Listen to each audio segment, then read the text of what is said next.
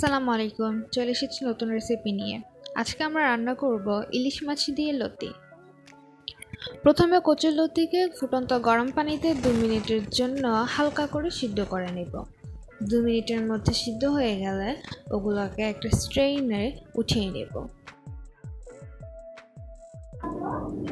একটি ফ্রাইং প্যানে পরিমাণ মতো তেল দিয়ে এরপর এটাতে কুচানো পেঁয়াজ, কাঁচামরিচ ফালি দিয়ে হালকা করে নেব।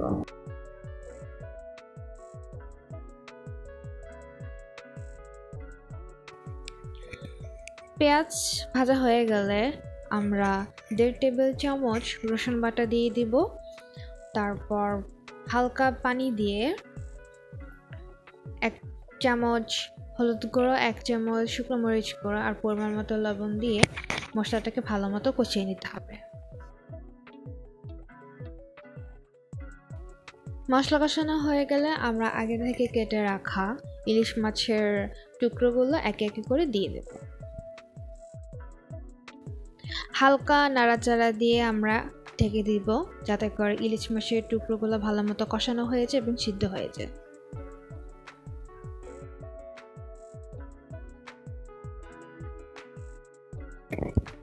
মাছগুলোকে ভালো মতো কষানোর পরে একে এক আমরা মাছগুলোকে আলাদা একটি পাত্রে উঠিয়ে রাখব।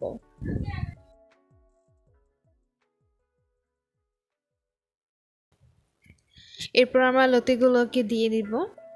হালকা নাড়াচাড়া দিয়ে পরিমাণ মতো একটুখানি যদি পানির দরকার হয় তাহলে পানি দিতে পারেন। এরপর আমরা ঠেকিয়ে দিয়ে কচিটাকে ভালো মতো রান্না করব। লতিটাকে হালকা কষানোর পরে আমরা এটাতে পরিমাণ মতো অল্প পানি দিয়ে দিব।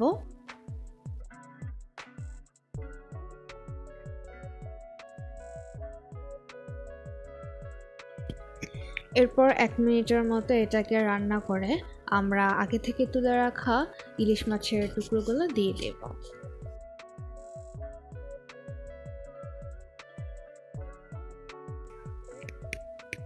হালকা নাড়াচাড়া দিয়ে একটু শুকনো শুকনো করে কিছুক্ষণ রান্না করলেই আমাদের তৈরি হয়ে যাবে খুবই সুস্বাদু ইলিশ মাছ দিয়ে কচুরলতি এরপর গরম গরম পরিবেশন করুন, সুন্দর একটি সার্ভিং ডিশে।